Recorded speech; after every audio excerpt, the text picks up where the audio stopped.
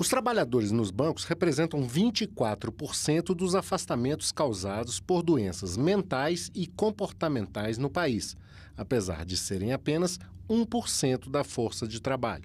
Nos últimos cinco anos, o número de afastamentos nos bancos cresceu 26,2%. Esse setor bancário ele é ainda caracterizado como um setor de grau de risco 1, mesmo sendo, mesmo sendo o oitavo setor com maior número de afastamentos acidentários pelo INSS. 6% dos bancários na Caixa estão afastados por saúde.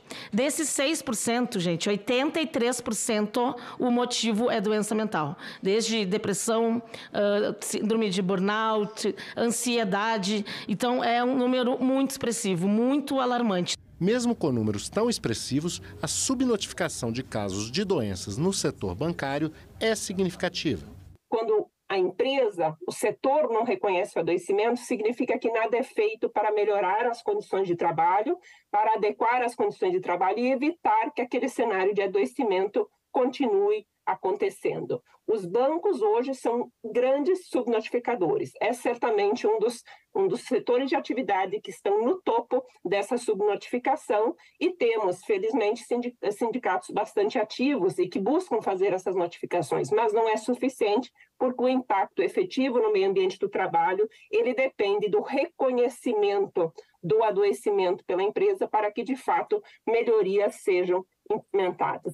Ficam na fila virtual meses para acessar os direitos previdenciários e enfrentam a dificuldade de ter seu adoecimento reconhecido como relacionado ao trabalho, o que no caso das doenças musculoesqueléticas e psíquicas deveria se dar automaticamente por lei, pois o decreto 3048/99 define que esses adoecimentos são mais frequentes no ramo é, bancário do que no conjunto dos demais ramos econômicos. Há uma tentativa de se afirmar que os, ban que os bancários adoecem psiquicamente porque o mundo está confuso e que, afinal, todos têm problemas psíquicos e a depressão é a doença do século. Tenta-se com isso mascarar o importante papel que o trabalho exerce sobre a saúde das pessoas e as características do trabalho bancário são especialmente adoecedoras, como várias pesquisas mostram. A imposição de metas exageradas aos trabalhadores foi também vista como fator de adoecimento. As metas que são abusivas, mudam toda hora, tem pressão para exercê-lo, o assédio moral é consequência disso né?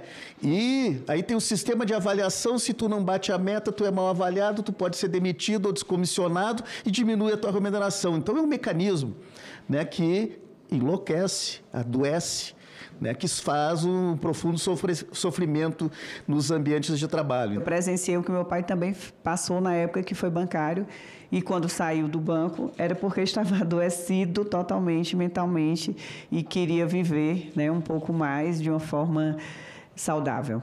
Então, tem todo o meu apoio aqui nas demandas que a gente vai construir dentro dessa audiência pública.